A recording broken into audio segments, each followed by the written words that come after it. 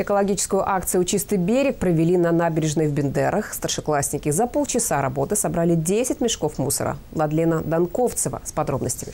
Что за обзорчик? Что там из мусора? Тут надо вообще тут водка, наливки, пиво, стаканчики, Короче, много пакетики. чего. Сухарики хотите?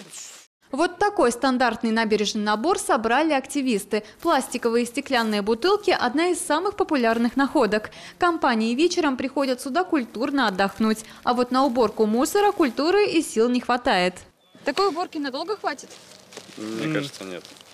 Ну, со временем всегда придет мусор, если даже... Вот, например, мы сегодня уберемся, а завтра тут еще, наверное, больше мусора будет. Активисты прошли от набережной до тропы здоровья. Ребята-волонтеры, они же старшеклассники, делают все быстро. Тут только добровольцы. Захотели, пришли. Всегда приятно убрать э, свое место, на котором ты сейчас находишься. Я вот даже тут в центре живу, буквально недалеко, и тут почти каждый день. И смотреть на это все, ну, это ужасно. Мы считаем, что это очень важно э, обращать на вним- внимание на экологические вопросы. А сколько раз проводите такие акции? Акции у нас уже на протяжении пяти лет. Каждую осень мы проводим с ребятами такие мероприятия. При- Привлекаем общественность, общественные организации. Сегодня у нас молодежный парламент и городской совет старшеклассников «Оникс».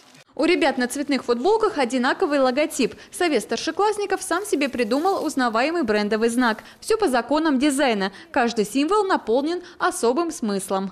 А ручки что значит? Ручки – это значит мы едины. Мы очень разные все, но мы едины в одном направлении. И здесь отображены и, и памятные места города Бендеры, и Бендерская крепость, и, э, значит, орел, и даже кару- карусель.